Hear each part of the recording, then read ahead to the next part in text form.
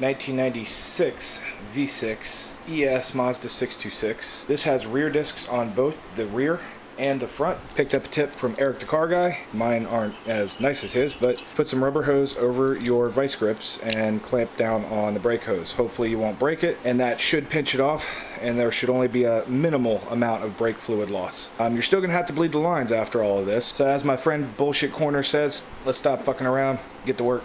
Okay, the first thing we want to do is remove that brake hose, but in order to get the brake hose off, you have to remove that clip. The clip on the back of here, you'll notice has a tiny little indentation so that you can put a screwdriver down through, walk it off. If they're not rusted too bad, you can just take a uh, pair of needle nose pliers and kind of walking back and forth a little bit. I don't think this one's gonna work like that. Smack it a couple times with a screwdriver and a hammer, popped right out. Should be able to just grab that and twist that right out. Uh, you will need to use these, so don't lose these.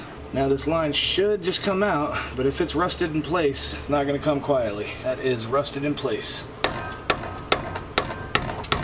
Now I'm just banging on the outside of this, I'm not banging where the clip resides. I just wanna try and knock some of this rust off and I'm not actually hitting on the brake line. I'm gonna be at this for a while. I'll be back. Alright, I went in this direction, grabbed the bottom of it, and then twisted it back and forth and it broke all that rust free. It's fairly unusual for Florida. We all know this car has not been taken care of. You gotta expect to find stuff like this. Next is the clip for the e-brake cable. Gotta get that off, otherwise the e-brake cable's not gonna come off. Well, since this one's actually all lubed up with brake fluid, that's gonna come off pretty easy. Ugh, there we go. And this one's a different size than the other one, so you can't get these mixed up. This is where we're leaking right here. See, if I press down on here, I should just be able to pull out. There we go. That was the ticket. When you press down on here, pull back on the cable. It's not going to go out sideways. You have to press back and then sideways, and that'll release it. Now we have a 14 millimeter bolt here, and I've only got a 3 8 inch ratchet. Try not to hammer my fingers. There we go. And this other side should have a cap on it. It's a pain in the ass. Oh, there. Cap's in good shape. Don't lose that. Now before I remove this top one, and this whole thing is going to be loose, I want to go ahead and get my brake line off now. We're going to take our vice grips, and we're going to clamp off that line. And the angle to get at that sucker is kind of odd. Put my ratchet right there. Didn't take much to crack that loose. If anything spills out, I'll just catch it with some rags. Expect this line to be clipped off, and if that line's not clipped off, then yeah, it's gonna make a big mess. Looks like there's a washer involved here. Nice thick copper washer too. And that was on the bottom side of the banjo bolt. Actually, it looks like there's a copper washer on both sides. And it's really hard to miss which which bolt is your banjo bolt because it's got a hole right in the middle of the bolt. Right there. It's a hole that goes all the way through. Son of a bitch. I'll go back to this 14 millimeter down here. And it looks like this thing is just chock full of anti-seize, just chock full of it. Someone's been in here trying to fix these brakes, and they did not do it. There's two of them.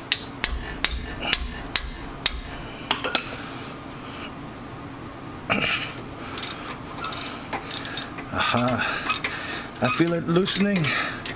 It's the quickening.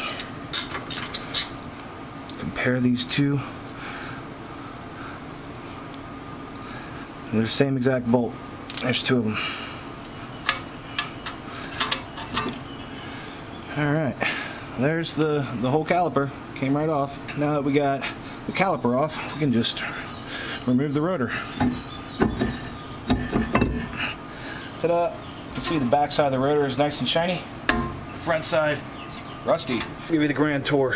I'll show you what's what behind the what what. Okay, this is your rear hub and these are your rear studs. And you can take out studs individually from the back. You can basically hammer them out or press them out or press them in. So if you break a stud not the end of the world. You can replace a single stud. This is the ABS tone ring. As you can see that's the ABS sensor that sticks through the shield and it measures the spaces magnetically. Anything metallic gathers on that sensor This is your dust shield. You know, these are really thin, really easy to bend, so make sure something didn't come up, hit it, knock it, and, and bend it into the rotor. So make sure those are bent outwards. I got off everything I needed to get off, so let's take this off. We'll go over to the bench and take a closer look. Here's the caliper. This is full of brake fluid here, this is your bleed screw. See, I was used to the, the fronts, where on the fronts, this caliper section folds up like this, but here folds outwards from the bottom. Because on the front, there's a screw here. There's no screw here, so it's only going to pivot on that bottom pin. So it is different if you're used to working on the front brakes. These rear discs pivot differently. They're opposite. This thing does not even want to pivot. This thing does not want to come apart. This thing is rusted shut. I mean, I can get the brake pads out of there.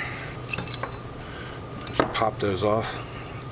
Make sure you get your clips and your hardware brackets here. This bracket is bent outwards. I don't know if that's going to be a sign of anything. The pads look like they have, they got plenty of wear on them. Uh, the minimum thickness is one millimeter. And I think we got plenty more than one millimeter there, so these brake pads are still good.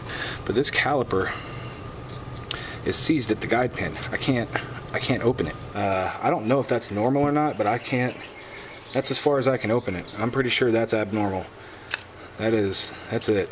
I'm pretty sure that this is the large guide pin and this bracket here should just come right off, right? This thing is stuck in place. This thing should just come apart.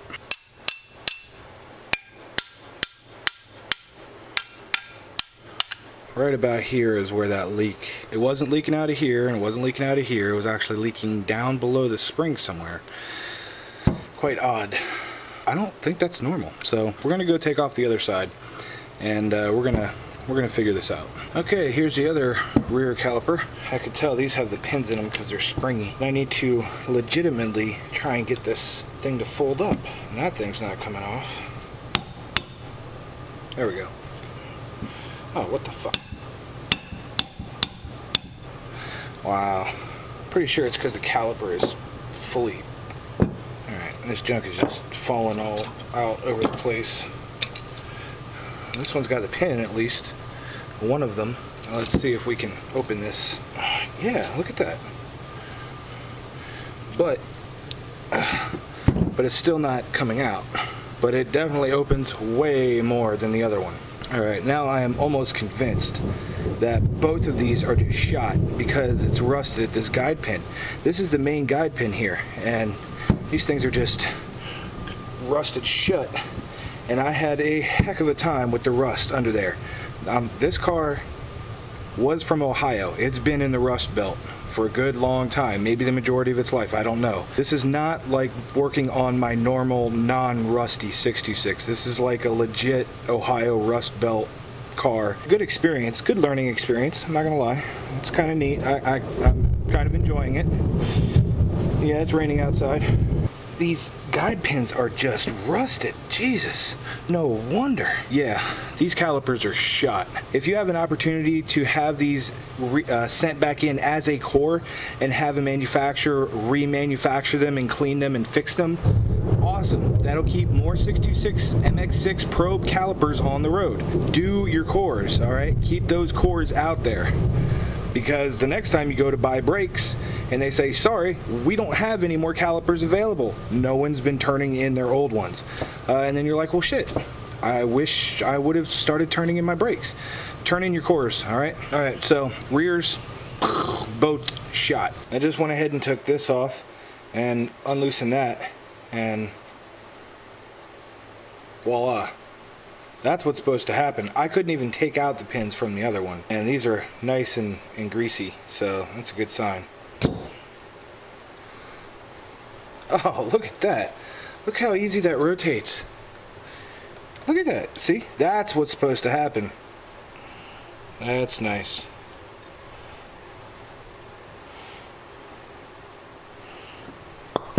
That's a good brake right there. It slid right off.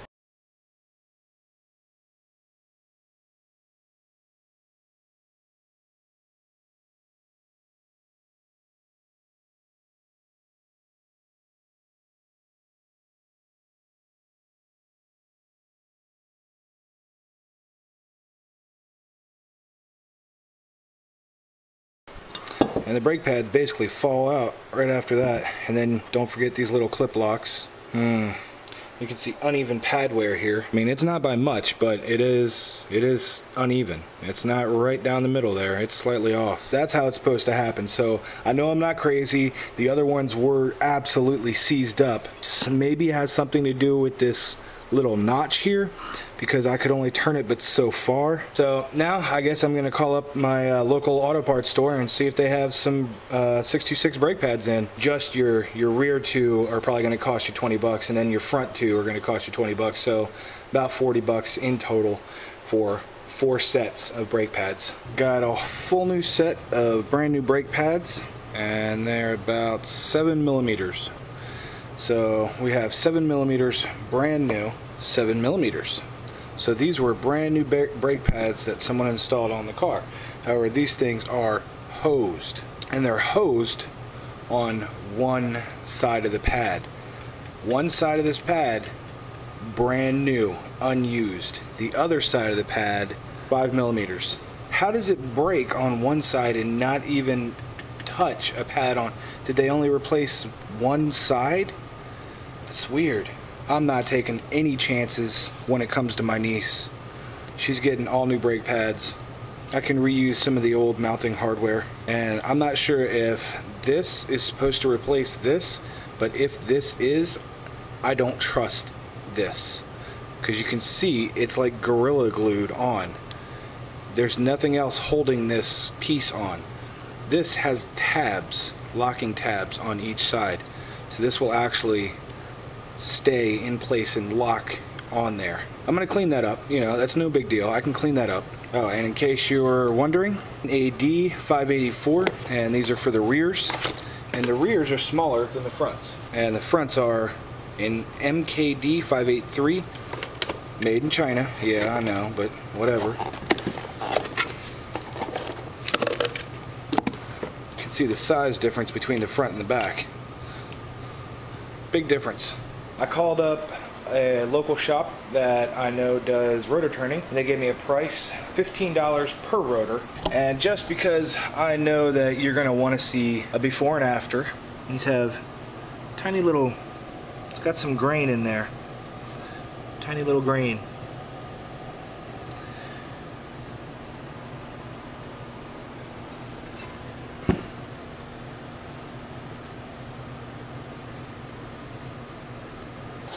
And here's the after. I've already got the other one on the car.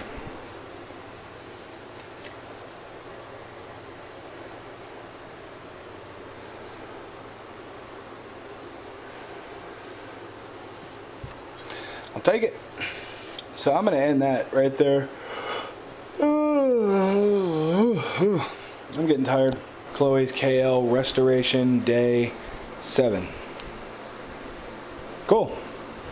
We're going to get the rotors on tomorrow.